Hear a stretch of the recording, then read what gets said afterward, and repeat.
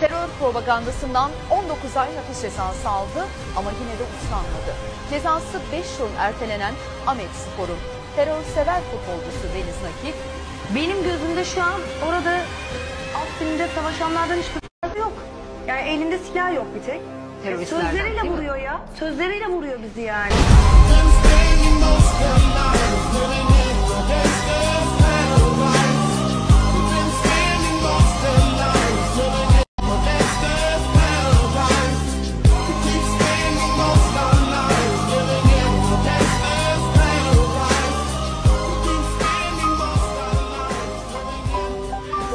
Futbolcudan korkuyorlar futbolcudan.